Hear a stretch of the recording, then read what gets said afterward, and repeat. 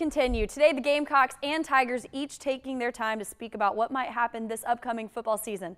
And what does South Carolina think about its future? For the Gamecocks, it seems to be bright. Will Muschamp was optimistic and likes where his team is at versus where they were last year.